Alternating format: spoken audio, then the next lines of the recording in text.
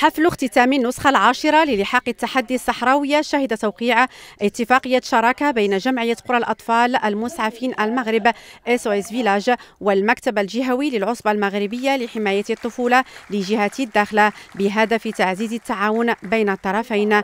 اتفاقية ثانية وقعت بين جمعية قرى الأطفال المسعفين المغرب SOS Village وجمعية طيبة للأعمال الاجتماعية. هدفها تعزيز التعاون في المجال الاجتماعي.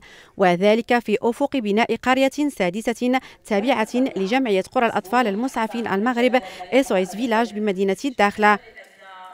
alors هاد هاد التظاهره العشرة هي كان عندها واحد الرمز كبير لأن درنا واحد الشراكة مع SOS Village Village وحنايا 10 سنين وحنا تندعموا الجمعيات ولكن هذا العام حنا كنا بغينا نشاركوا بناء ديال واحد المركز اللي هو غتستافد منه مدينة الداخلة وأطفال الداخلة.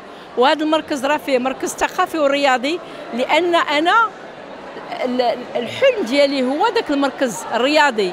لأن من مدينة الداخلة يمكننا نديروا أبطال ونديروا أطفال اللي تيديروا يمارسوا الرياضة. ودونك هذه المشاركة غادي تستافد منها كاع الأطفال ديال الداخلة والأطفال ديال الجمعيات الأخرين. وحنا مفتخرين بزاف لأن غادي نشاركوا كصحراوية وعطينا واحد واحد الدعم مبلغ مهم اللي هو أول دعم ديال هاد هاد الفيلاج. بالنسبة للنتائج الفوز كان من نصيب الثنائي الفرنسي سالومي رافي وإليز بوني. اللتين أبانتا عن مجهود كبير خول لهما التتويج بنسخة هذا العام.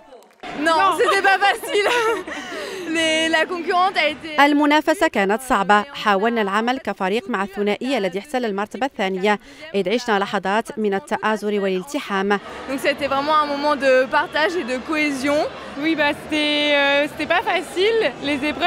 الاختبارات كانت صعبة مقارنة بتلك التي خضناها أول مرة. حاولنا التحكم في إيقاع التنافس بهدف الحفاظ على الصدارة إلى غاية آخر يوم. الحماس ديال المشاركة من الناحية الرياضية ولكن للتضامن لأن المشاركة كأمل عديل وداكشي. حاربوا باش يمكن لهم يكونوا في البوديوم باش يمكن لهم يعطيو داك الشكل SOS Village الحاجة الثانية الأجواء اللي كانوا واحد الأجواء ديال الأخوة وديال ديال النشاط وديال التبادل وديال